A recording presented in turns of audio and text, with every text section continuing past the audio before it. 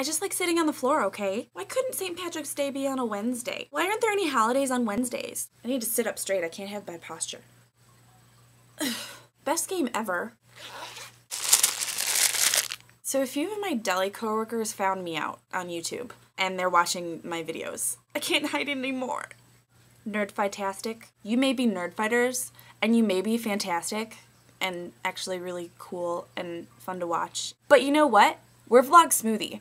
And not only are we fruity, we're delicious. I'm not very good at being intimidating.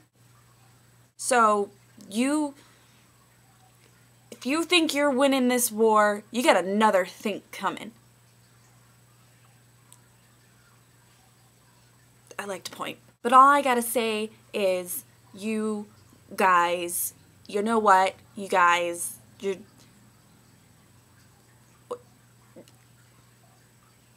You guys.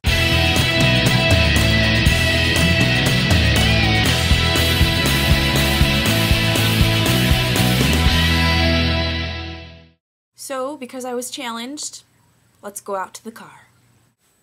Hi, I'm in my car. I'm in the middle of nowhere because I there's a lot of people home right now and I was really afraid that my neighbors were going to just see me just sitting in my car filming. So I decided not to do that in the middle of our parking lot. And then I decided, well, maybe I'll go over to East Hall, which is a kind of artsy place, and there's there's art classes in there. And I was like, well, it wouldn't be so weird if I were filming in my car because there's probably a lot of art students that do that all the time. And then I forgot how to get there. So then I decided, oh, well, right up the road is the psychiatric hospital. I could do it in the parking lot of there because they wouldn't think that's really crazy. They get crazy people all the time. But then I decided that probably wouldn't work either because there's probably like authorized vehicles and I didn't want to get all messed up in that. So then I decided I'm going to go out in the middle of nowhere, and I really am out in the middle of nowhere, and just park my car, sit in the passenger seat, and just start filming. I just heard a cop car and I thought they were coming to like arrest me because I'm not supposed to park on the side of the road out in the country. But then I realized no. I'm still scared though. Like, this is weird. I'm a weirdo right now. There's a car coming and they're gonna see me sitting here filming myself. Uh, I filmed in my car before, but at that time I was filming as I was driving. I don't have that camera anymore, so I can't just drive around and film myself. Plus, that's not very safe either, so I decided probably don't do that again.